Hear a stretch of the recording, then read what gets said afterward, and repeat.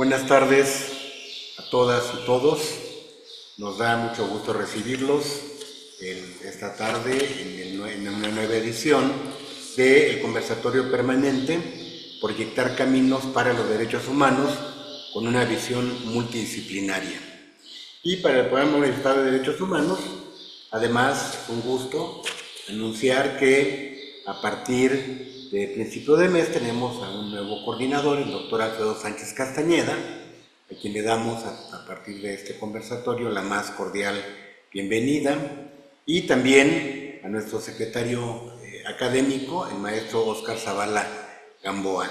Ambos muy bienvenidos y mucho éxito en las tareas que desarrollarán ahora en el programa Universitario de Derechos Humanos. Y bueno, en el mes... Eh, en la sesión correspondiente al mes de mayo, tenemos ahora, regularmente ocurre un programazo, que tenemos como invitados a los integrantes, las integrantes de la unidad de indicadores del programa universitario de derechos humanos, que va, con los que vamos a platicar sobre el trabajo que la UNAM viene realizando en materia de evaluación de derechos humanos. Por supuesto, ellos que son los expertos, ellas las expertas y autorizados, nos irán señalando de manera mucho más específica en qué consiste esto de indicadores. Haremos una breve presentación de, cada una de ellas, de, él, si me permiten. La maestra Laurelisa Pérez Gómez, ella es actuaria y maestra en investigación de operaciones por la Universidad Nacional Autónoma de México. Desde 2013 es investigadora en el Programa Universitario de Derechos Humanos de la propia UNAM, cuenta con 40 años de experiencia en evaluación de proyectos y políticas, de los cuales los últimos 20 se ha concentrado en investigación e incidencia en materia de derechos humanos. Y entre 2014 y 2023 fue experta independiente en el grupo de trabajo para el protocolo de San Salvador. En abril de este año fue nombrada para ser parte del Comité de Derechos Económicos, Sociales y Culturales de las Naciones Unidas para el periodo 2025-2028. Muchas gracias, Laurelisa. Es un honor que estés acompañándonos este día de conversatorio. Eh, tenemos también a la maestra Ivette Miriam Pérez Molina. Ella es economista por la Universidad Nacional Autónoma de México y maestra en Administración Pública por el Instituto Nacional de Administración Pública, INAP.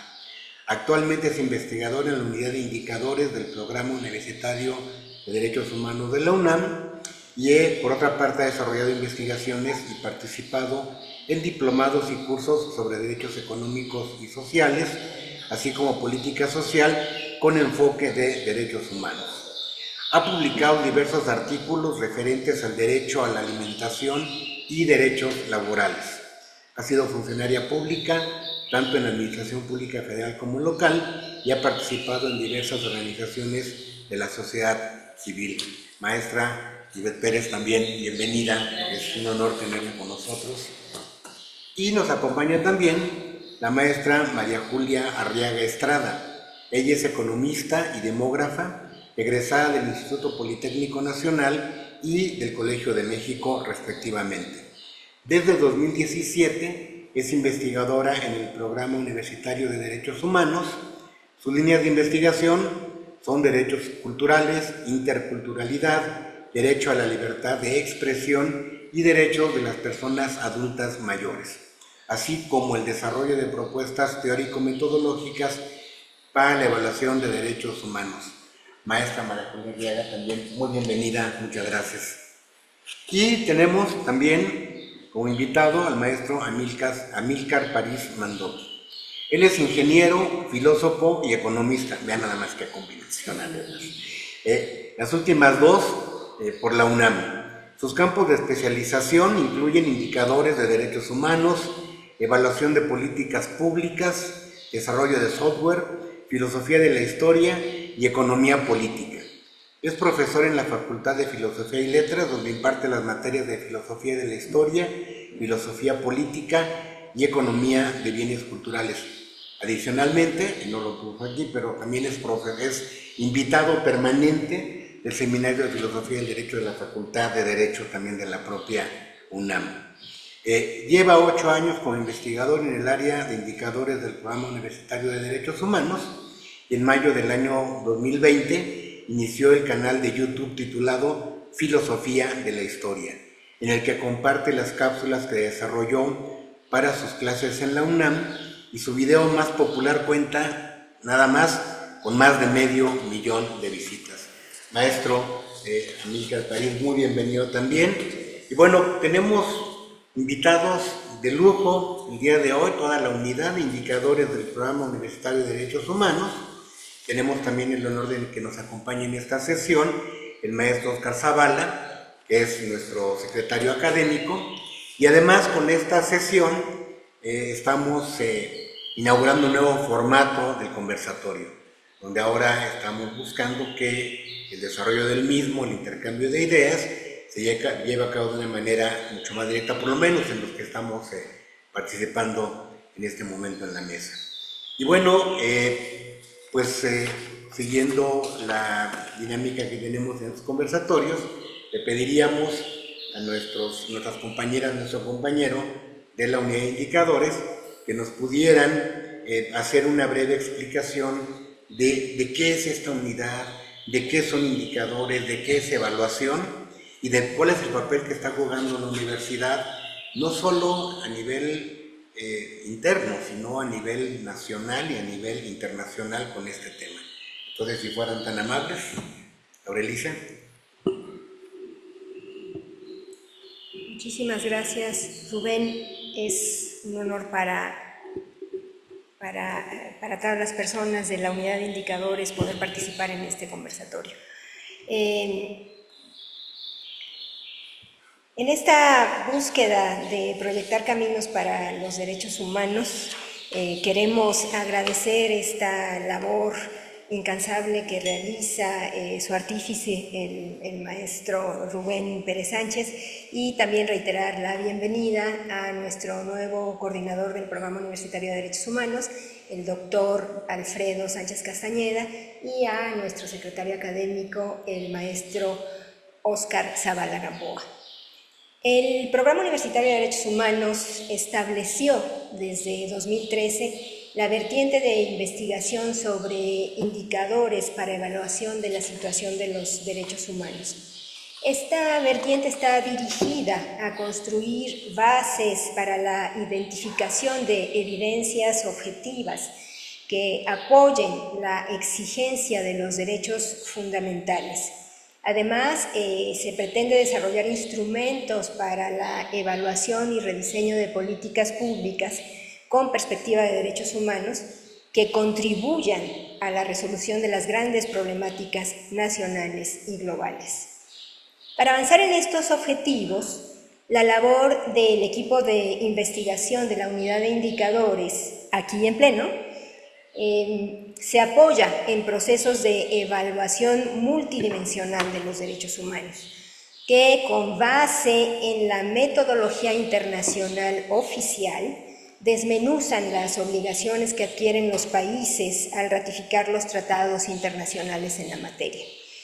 Eh, como se observa en la lámina, perdón, no tenemos este, en el momento la lámina, pero bueno, eh, el cumplimiento de cada derecho se evalúa entonces eh, considerando indicadores que valoran desde la existencia de eh, bases estructurales normativas, los procesos de atención que se establecen y, por supuesto, los resultados sobre el acceso efectivo de todas las personas a cada uno de los derechos.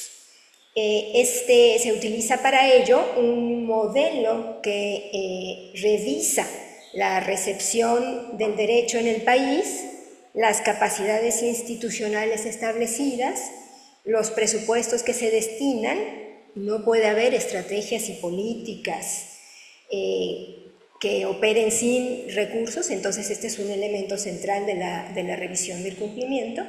Y de manera muy relevante, la implementación de los principios transversales relativos a igualdad y no discriminación, real participación social de todos los grupos interesados, transparencia y acceso a la información, así como el acceso a la justicia. Es eh, relevante destacar que un derecho no es tal, sino puede ser exigido.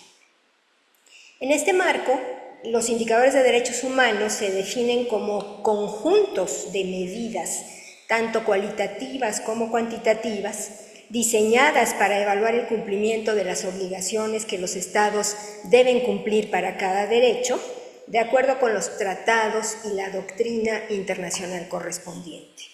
Estos indicadores no se interpretan de manera individual y aislada y no deben manipularse para construir índices, dado que pretenden desplegar y evidenciar todos los requerimientos para la atención efectiva de los derechos interpretados de manera integral. Con esta línea de investigación, en 11 años, el PUDH ha incidido en la política pública federal en materia de derechos humanos, logrando la adopción, transparencia y utilización por parte del Gobierno de México de indicadores para el monitoreo sistemático de los derechos económicos, sociales, culturales y ambientales, mediante una plataforma informática para el denominado Sistema Nacional de Evaluación de los Derechos Humanos, que hace posible la revisión pública y manejo de datos abiertos de más de 850 indicadores. Asimismo, hemos desarrollado investigación y vinculación para diseño y evaluación de políticas públicas para el derecho a la alimentación adecuada, los derechos laborales, derechos económicos, el derecho al medio ambiente sano, derechos culturales, así como para algunos derechos civiles y políticos como la no discriminación, la libertad de expresión y el derecho a no ser sometido a tortura y tratos crueles, inhumanos y degradantes. Destacamos además que el programa ha constituido una presencia destacada y una sólida articulación internacional en el sistema interamericano y en el sistema universal de derechos humanos entre 2014 y 2023, mediante la participación en el grupo de trabajo del Protocolo de San Salvador, se sentaron las bases para el monitoreo especializado mediante indicadores del cumplimiento de este protocolo, que es el protocolo más relevante y vinculante en la región para el cumplimiento de los derechos sociales de las personas. Eh, recientemente, en abril de 2024, estos logros también fueron reconocidos al obtenerse un nombramiento para formar parte del Comité de Derechos Económicos, Sociales y Culturales de las Naciones Unidas, que es el grupo que supervisa el avance de estos derechos en 171 países en el mundo. A continuación vamos a revisar algunos detalles de esta labor.